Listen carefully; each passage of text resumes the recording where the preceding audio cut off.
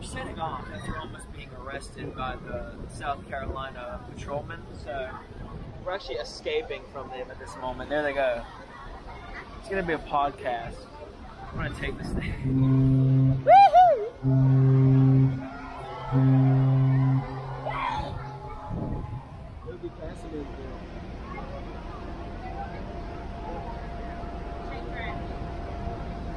We narrowly escaped fire, but my cameraman Brandon Brumley didn't um, record it because he was uh, actually very scared, as we all were. We had to hit the deck uh, from that gun. It was actually shooting at us.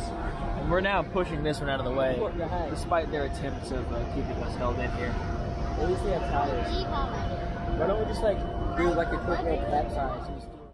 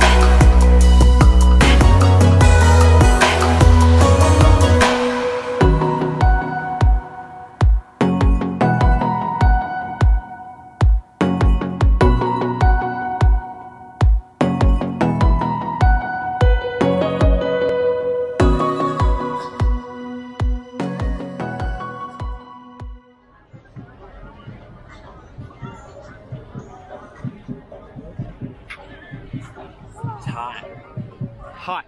What's up, Brumley gang? Sure. Le Picture. Good, how are you? Turtle, I like that. What? I like this little turtle. Good. Just, just keep it going throughout the, the town. All right. What do you Yeah, think? What do you think so far? It has a little cute Bracelet, dolphin on it. yeah. It says Bahama Josh. Bahamas? I got it this. Yeah, this for Cheyenne. That's for Shay. That's for the Shay. Shay. Say you buy. What do you think about the uh, the temperature here? It's freaking hot. Kaylee got this pretty blue. What do you think? It's got a free bracelet. I had to leave a tip. What, free? Serious, You didn't have to. She made us feel like crap if I didn't. No, I gave her 20. Shopping Welcome for back to the purses. Louis Vuitton store. Louis Vuitton. Louis Baham. Uggs. Look, look his glasses. Humanitarian Brandon Brumley is not as humanitarian as you think. See, he felt that he was pressured into donating, and he didn't do it out of the kindness of his own heart. How do you feel about that? Yeah. See, this is a problem. Yeah, I, I think that we need to go and give her double for his horrible statements. No? No. No? Anything else you want to do after that?